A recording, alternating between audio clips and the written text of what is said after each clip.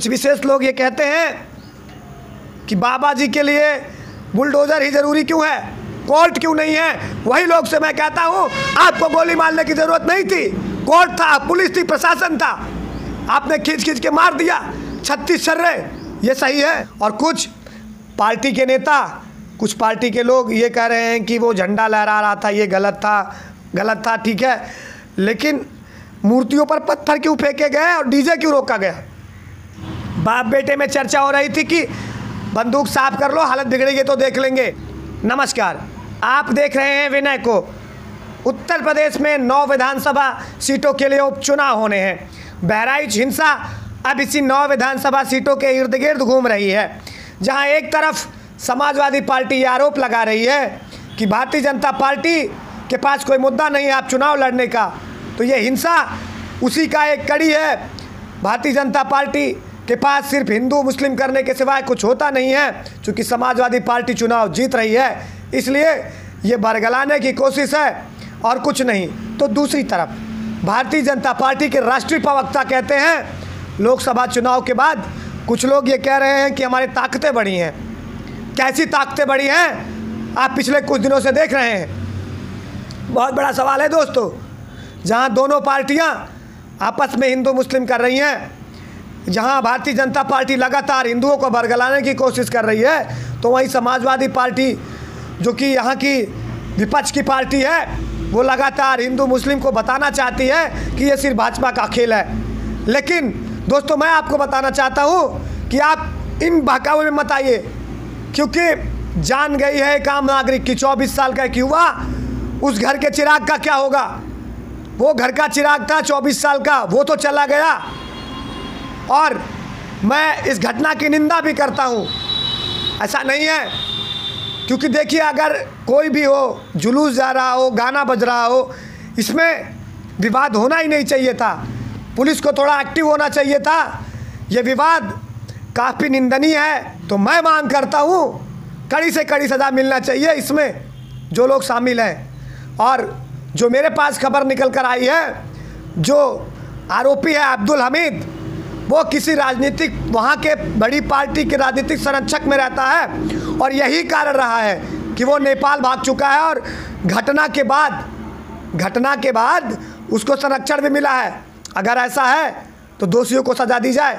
वो कोई भी हो, किसी भी पक्ष का हो, मुझे नहीं फ़र्क पड़ता।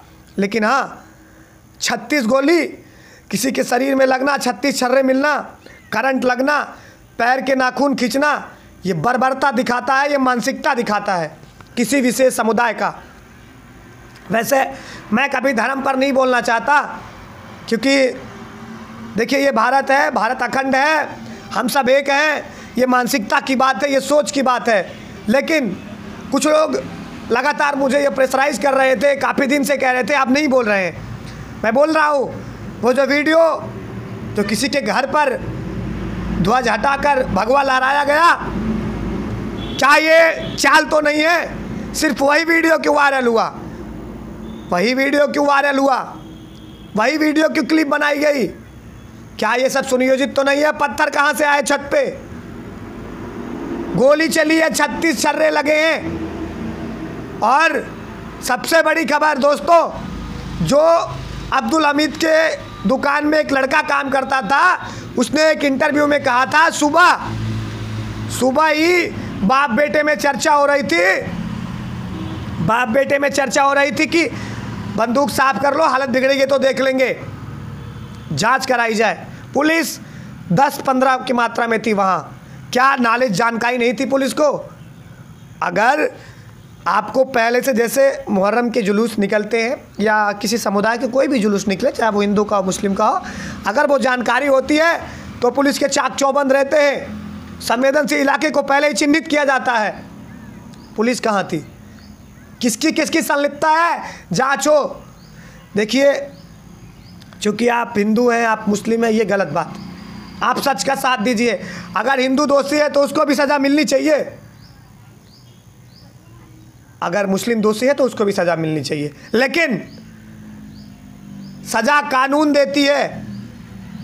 राम गोपाल मिश्रा को जिस तरीके से खींच खींच के मारा गया, कानून उसके लिए होती अगर वो गलत होता। कुछ लोग कुछ विशेष लोग ये कहते हैं कि बाबा जी के लिए बुलडोज़र ही ज़रूरी क्यों है? कोर्ट क्यों नहीं है? वही लोग से मैं कहता हूँ, आपको गोली मारने की ज़रूरत नहीं थी। कोर्ट था, पुलिस थी, प्रशासन था। आपने खींच खींच के मार दिया। छत्तीस सर्रे ये सही है? अगर ये सही है तो बुलडोज़र की कार्यवाही भी सही है। मैं बोलता हूँ, आपके सामने खुलकर बोलता हूँ।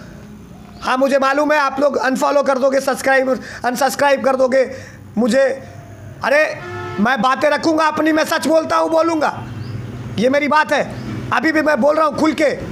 लेकिन हाँ मैं ये भी अपील कर रहा हूँ, चाहे वो हिंदू हो, चाहे वो मुस्लिम हो, हिंसा से दूर रहे, प्रशासन का सहारा ले। और अब मेरी अपील है, दोनों दलों से, चाहे हिंदू हो, चाहे मुस्लिम, शांति बनाए रखें आप। शांति बनाए रखें। ये देश को शांति से, अमन से चलने दें। आप हिंदू हैं, आप मुस्लिम हैं, ऐसा नहीं है। मेरे, मेरी मित्रता है, मेरे मित्र मंडली में सब मुस्लिम ही हैं, लेकिन बहुत जनती है हमारी। ये मैं इसलिए नहीं बोल रहा हूँ कि वो मारा गया, इसलिए ये बोल रहा हूँ कि आपने मारा उसे। ये गलत बात है। प्रशासन था, शासन था उसे देता। और कुछ पार्टी के नेता, कुछ पार्टी के लोग ये कह रहे हैं कि वो झंडा लहरा रहा था, ये गलत था गलत था, ठीक है। लेकिन मूर्तियों पर पत्थर क्यों फेंके गए और डीजे क्यों रोका गया? ये भी तो गलत है। खुलकर बोलो, सिर्फ़ वोट बैंक की राजनीति करना गलत बात है। मैं बोलता हूँ उसके खिलाफ हूँ मैं। शायद मैं बीजेपी का समर्थक नहीं हूँ। शायद मैं किसी पार्टी के लिए काम नहीं करता। मैं वो पत्रकारिता नहीं करता या मैं वो यूट्यूब चैनल नहीं रखता कि मैं किसी विशेष के लिए काम करूँ। नहीं, मैं निष्पक्ष हूँ। और आज ये मेरी विचारधारा है, मैं इसलिए आपको बता रहा हूँ। दोस्तों, अगर आपको पसंद आया मेरी ये बात तो चैनल को सब्सक्राइब कीजिए, शेयर कीजिए। नमस्कार।